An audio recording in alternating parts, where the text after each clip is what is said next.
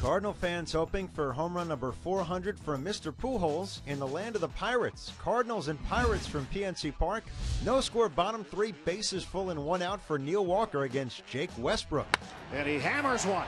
Deep center field. Way back. It is off the top of the wall.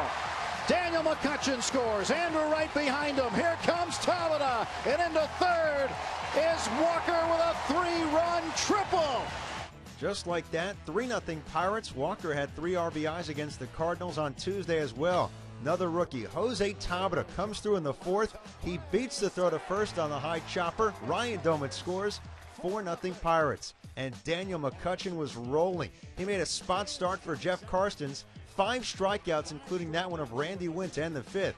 In the sixth, a nice defense from Randy Winn of the Cardinals, sliding in to make the grab and rob Ronnie Cedeno. Nicely done.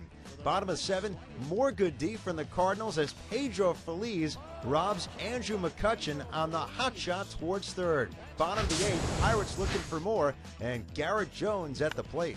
And Jones hammers one. Deep center field. Way back. That's gone. For Jones, his team leading 19th homer, it was 5 1 Pirates.